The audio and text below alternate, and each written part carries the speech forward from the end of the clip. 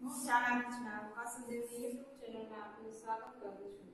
આજે આપણે ધોરણ 4 પાઠ 2 જેમાં આપણે આના પહેલાના લેક્ચરમાં આપણે પ્રશ્ન જવાબ જોયા બરાબર ત્યાર પછી આજે આપણે લેક્ચર નંબર 5 માં જે મેઇન પ્રશ્ન છે એ કરાવું છું અને એની સાથે વર્ગીકરણ કરવાનું આપણે બરાબર જે પાઠમાં છે બરાબર ઈંડા ઉડનાર પ્રાણીઓ અને બચ્ચાને જન્મ આપનાર પ્રાણીઓ એનું વર્ગીકરણ અને આ એક પ્રશ્ન છે. આ બે તમારા ઓલા પ્રશ્ન જવાબની સાથે પાકી બુકમાં લખી લેવાનું છે, બરાબર? આ પ્રશ્નનો જવાબ છે એ મેં લખી નાખ્યો છે. હવે તમને સમજાવું છું. પાઠ બીજાનો છે આપણે લેક્ચર પાઠ છે, વિષય છે આસપાસ, બરાબર? જેમાં આપણે નાના, આની પહેલાના લેક્ચરમાં નાના પ્રશ્ન જવાબ કર્યા છે, બરાબર? હવે એમાં જ આપણે આ પ્રશ્ન લખવાનો છે. પ્રશ્ન છે કે વાઘને રાષ્ટ્રીય પ્રાણી તરીકે કેમ જાહેર બરાબર જ્યારે મેં તમને પાઠ સમજાવ્યો ત્યારે મેં તમને કીધું હતું કે અહીંયા આપણે ઘણી જગ્યાએ આપણા ગુજરાતમાં આપણા દેશમાં બધે સરકારે જે છે, પ્રાણીઓ અને પક્ષીઓ પોતાની રીતે હરી ફરી શકે તેના માટે આપણે એક ઓલું અભયારણ્ય પ્રોજેક્ટ ચાલુ કર્યું છે. એવી રીતે વાઘના રક્ષણ માટે પણ સરકારે જે છે એ પ્રોજેક્ટ ટાઈગર તરીકે એક કાર્યક્રમ કરેલો છે. જેમાં વાઘ છે, વાઘની વસ્તીઓને પૂરેપૂરું રક્ષણ મળી શકે છે. જમાનામાં જ્યારે રાજા મહારાજ પોતાની વાઘનો, પોતાના શોખ માટે વાઘનો શિકાર કરતા હતા. અત્યારે પણ હજી હવે બહુ ઓછું બને છે શિકાર કરવાનું, પણ હજી પણ વાઘ છે એ સુરક્ષિત નથી. એટલે આપણે જે પ્રોજેક્ટ ટાઈગર છે એના દ્વારા વાઘનું રક્ષણ થઈ શકે છે. એટલે પ્રશ્ન શું છે કે વાઘને રાષ્ટ્રીય પ્રાણી તરીકે કેમ જાહેર કરવામાં આવ્યું છે? તો એનો જવાબ છે કે વાઘ છે તે ભારતના પૂર્વના જંગલોમાં રહેનારું પ્રાણી છે. પૂર્વના જંગલોમાં રહેનારું પ્રાણી છે વાઘ પહેલાના રાજાઓ, જેને તમે સમજાવી છે, બરાબર? પહેલાના રાજાઓ વાઘનો શિકાર કરતા તેથી વાઘની વસ્તી ઘટતી ગઈ, બરાબર? વાઘનો જે પહેલાના રાજાઓની બધા હતા, એ વાઘનો શિકાર કરતા હતા, એટલે એની વસ્તી કેવી થઈ? ઓછી થઈ ગઈ. જેથી સરકારે તેના પર પ્રતિબંધ પ્રતિબંધ મૂકી દીધો, બરાબર? હવે વાઘનો બધા શિકાર કરતા હતા એટલે સરકારે શું કર્યું કે શિકાર કરવા ઉપર પ્રતિબંધ મૂકી દીધો. જેથી કરીને પ્રતિબંધ મૂકી અને ઈસવીસન ઓગણીસો ને બોતેરમાં ક્યારે? ઈસવીસન ઓગણીસો ને બોતેરમાં વાહનો રક્ષણ આપવાનું ચાલુ કરી અને પ્રોજેક્ટ ટાઈગર કાર્યક્રમ અમલમાં મુકાયો.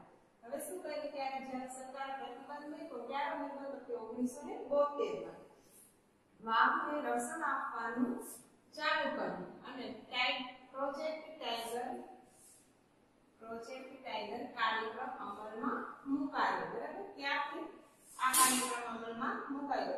ત્યારથી વાઘને રાષ્ટ્રીય પ્રાણી જાહેર કરવામાં આવ્યું. જેથી કરીને વાઘને રક્ષણ પણ મળી રહે અને વાઘની જે વસ્તી છે એ વસ્તી એટલે મીન્સ કે વાઘ આપણા દેશમાંથી ઓછા ન થઈ જાય. એ માટે પ્રોજેક્ટ ટાઈગર તરીકેનું એક કાર્યક્રમ છે જે સરકારે અમલમાં ત્યાર પછી છે આપણે આ પાકનું વર્ગીકરણ કરવાનું છે. વર્ગીકરણ આપણે છે તો કે બે તમને આપેલા છે કે ઈંડા મૂકનારા પ્રાણીઓ અને બચ્ચાને જન્મ આપનારા પ્રાણીઓ. બરાબર છે? એ બેનું વર્ગીકરણ કરવાનું છે. વર્ગીકરણ કરવાનું છે, એમાં કાઉન્સમાં અહીંયા બધે નામ આપેલા છે. તો કે કયા કયા છે? તો કે કાગડો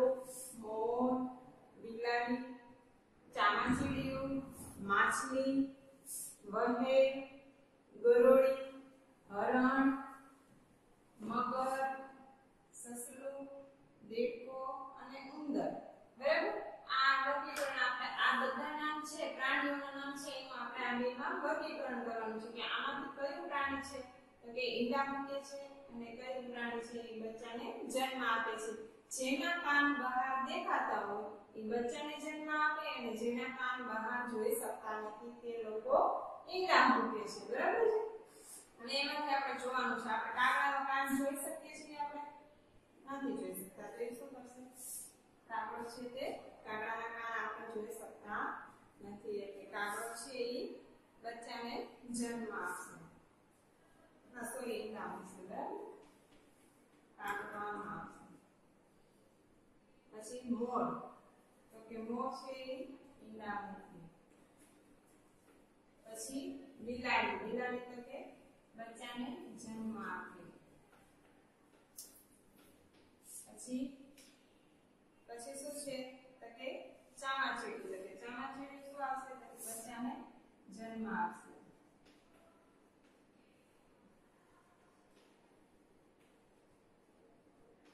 પછી છે માછલી તો કે માછલી ક્યાં આવશે તો કે માછલી ઈંડા મૂકે છે પછી માછલી પછી શું છે માછલી પછી વેલ છે. તો કે વેલ ક્યાં આવશે તો કે વેલ છે એ પણ ઈંડા આવશે પછી છે ગરોળી. તો કે ગરોળી અહીંયા આવશે પછી હરણ. તો કે હરણના કાન હોય છે તો આવશે